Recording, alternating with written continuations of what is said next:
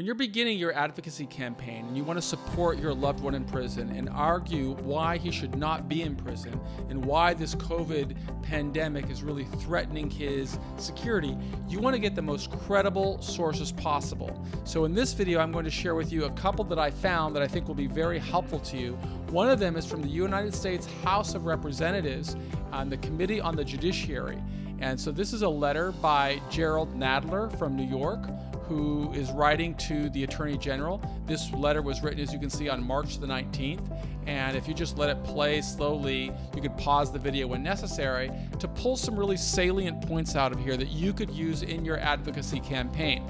So the uh, the, the congressman is writing to the to the attorney general, talking to him first of all about how dangerous this epidemic is, also talking about how uh, exposing people in prison to this epidemic can really threaten all of society. There's 175,000 people in federal prison and there are hundreds of more than 100 facilities across the country and the data shows according to this uh, letter that he wrote that the BOP is really not well suited to handle such a pandemic. In fact, nobody in society has been ready, which is why more than 95, 90% of the population has been put on some type of stay or home order or work from home orders.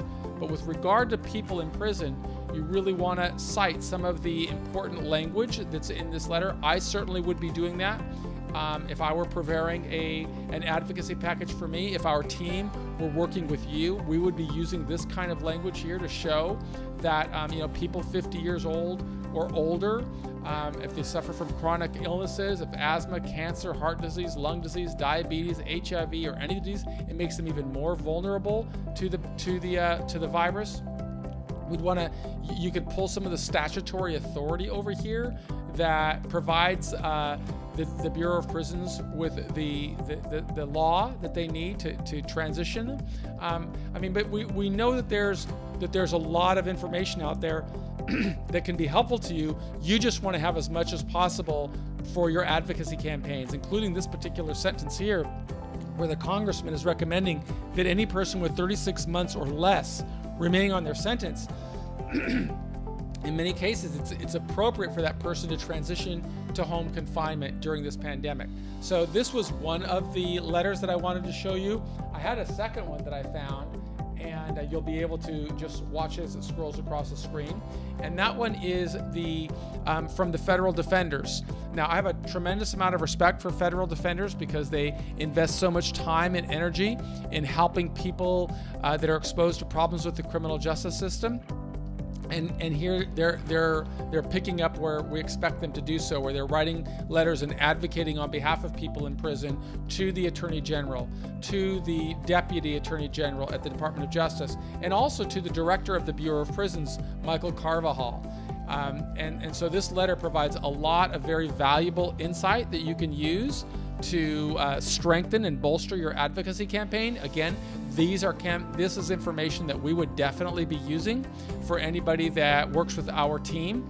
Um, but we encourage you to figure out how can you best use this information to build the most effective advocacy campaign for you. Um, so we encourage you to scroll through the entire letter. You could pause the video. I, I don't have a way to upload a PDF for you, so I just got the letter on there. You could um, I know that we've got some of our branding on there. Um, it's because a lot of people plagiarize our work and we want them to do their own work. Um, but you can pause the, pause the letter where you want to make sure that you can read it. And we encourage you to, to use this in your advocacy campaigns as you, um, as you move forward. And you may even want to reach out to the uh, federal defenders in your district. Um, but again, if you want a team of advocates working for you, we do encourage you reach out to our team. Um, but again, if you just want to do it yourself, we're providing you the, the resources that we would be using. It's just work. You've got to be willing to do the work to get the outcome that you want, and we encourage you to do so. Thank you.